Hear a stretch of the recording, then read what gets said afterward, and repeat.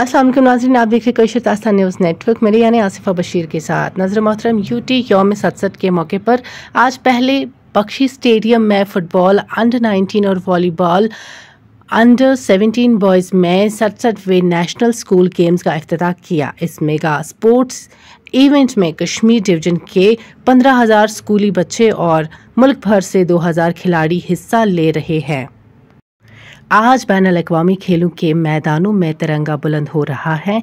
छोटे गाँव और कस्बों से नामवर खिलाड़ी उभर रहे हैं और उन्होंने अपनी शानदार कारकर्दगी से बैन अवी खेलों के मुकाबले में शानदार कारकर्दगी का मुजाहरा किया है।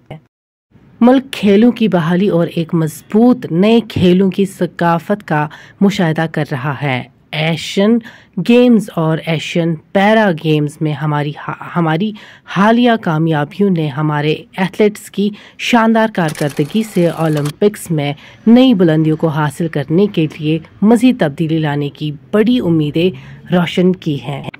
जम्मू व कश्मीर के मुनासिब इंफ्रास्ट्रक्चर के साथ खेलों और खेलों के कल्चर की तरक्की के मंसूबे के साथ एक नई शुरुआत की है। खेलों को तालीमी निसाब के लाजमी हिस्से के तौर पर मुतारफ़ कराया है। माहरीन तक रसाई और शानदार कोचिंग और यूटी भर में हुनरमंदों को मौका फराहम किए हैं।